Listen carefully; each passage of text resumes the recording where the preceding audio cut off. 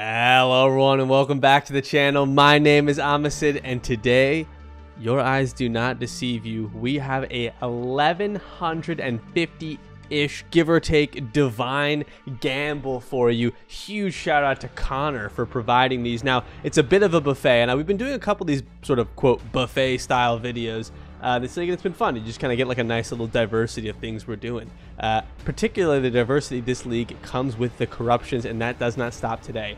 We have one Aegis Aurora, two Doryanis, one Omni, four Headhunters, and a Mage Blood. Now, this is a lot of uh, this is a lot of currency we're working with here. We've got a lot to do.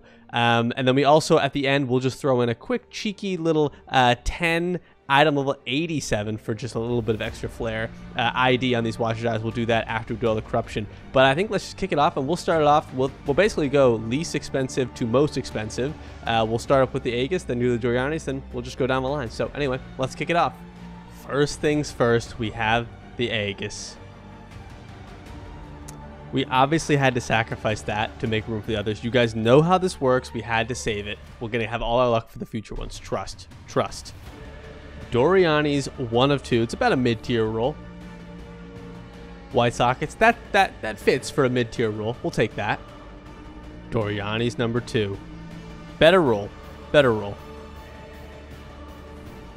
I mean, I guess, right? Why not? We'll take that. It's nice and cool and fancy looking. Why not? Sure. Okay, this is the first of the biggies, but it's obviously not a biggie biggie compared to like the Headhunters and the Mage Bloods, but okay. Again, another necessary sacrifice for the headhunters. Because we have the four headhunters and a mage blood, I'm pretty sure it's just like a guarantee that we hit something good. It's just like 99 times out of 100, right? That is impossible. Pretty much impossible. Headhunter number one. Now keep in mind, these are 190 divines apiece. And now it's a skin transfer. Alas. Headhunter number two I think this one's going to go poof, and the next one's going to be movement speed and rarity. It's my bet. That's effectively right. I was effectively right. Okay, you know, listen, you have to be honest with yourself when you're going to brick it and you just feel it in your bones. You got to be honest with yourself, but the next one's going to be huge. Trust. Headhunter number three. Now, again, I'm in my professional experience, and trust me, guys, I've double corrupted a lot of items. This one's going double implicit. Okay, I was wrong about this one. But next one, surely, surely the next one, right? The last headhunter. I cannot brick or poof four headhunters, right? That's actually unbelievable. All of this means the Mage Blood simply must hit implicit. It simply must. I cannot poof or brick five T0 belts in a row. It, it cannot be done. The final belt and it's the biggie. A mage blood.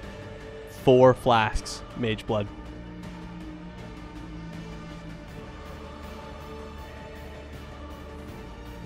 How? How? How did that happen? How? we bricked or poofed four headhunters and a mage blood. We didn't hit a single implicit on any of the double corrupts. This is the single worst double corruption spree I've ever had. Wow. We better hit an insane Watcher's Eye to make up for it because this is ridiculous. Actually ridiculous. Okay, well after that horrifying display, let's uh, let's hit a really insane Watcher's Eye, shall we? Uh, that's not it. Attack damage precision with I mean, it's not the right vitality, but it might be worth something. We'll price check it. I'll uh, I'll do a pause and a price check. We've got okay. We've got this this one. This one's something. We've got determination armor, uh, wrath conversion, damage taken. this is probably something. Anger, fire damage, haste, CDR, movement skill. No. Uh, oh, okay. Uh, this is something. This is certainly a jewel. Uh, values are really all over the place at this point in the league, but this seems good inherently. We've got, wow. Wow. You are unaffected by flammability. You're unaffected by poison. You're unaffected by vulnerability. You are immune. You're an actual god when you put this jewel on. We've got Impales last with pride and purity of lightning. Okay, probably not. Uh, Wrath. No, no, nothing crazy there. We've got Suppression, Grace, Zealotry. Eh, it's not terrible. Might be something. And last, ooh, oh, oh my word. Yeah, that's a good jewel. That's a good jewel. Okay, uh, we actually do have something to price check, and uh, it's just a few of these jewels. That is a, whoo, that's a good one. Okay, uh, I'm going to do a quick price check on everything, although there really is nothing to check with the corruption, so that's that. But we'll check the jewels, and we'll call it a day and see if we even made a percentage of our income back here. Uh, okay, be right back. Okay, we are back. Now, I guess we can walk through the results, but really we're just walking through the Watcher's Eyes, and particular, this absolute beauty. So these are nothing. I mean, they're going to sell back pretty much what they paid. It's a 30% qual. That's pretty cool, but still probably roughly about what you paid. Uh, Headhunters and Magebloods are cool, but they are toast. Uh, they are toast. These four are worth nothing. We've got a couple that are about a divine here. This uh, damage pen with the determination, maybe like a divine, two divines. These are in the divine range here. This anger one with the vitality. Uh, pride is like roughly like 100C for that mod by itself. Um, this one here is maybe like two divines for the flat armor with the conversion and or the clarity. Uh, the suppression with the consecrated ground is yeah about a divine and a half.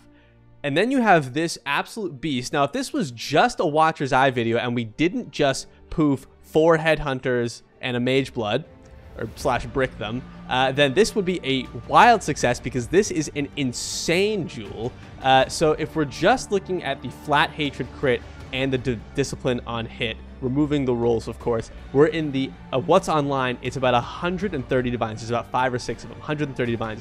When you add in the second discipline mod, the regen, which does have value, especially depending on the build, we are we are going north of that. So absolute bare minimum like 140 150 divines for this absolute bare minimum but this could go this could go to the moon this is a really nice jewel will it be enough to make back the losses no but it is a really nice jewel and somebody would love this thing. Um, so all in all, we'll take it. It's a it's a consolation prize, I suppose, in the win, as which is feels weird to say about such a nice jewel, but uh, it's something. Anyway, I hope you guys enjoyed this one, and I will catch you in the next one.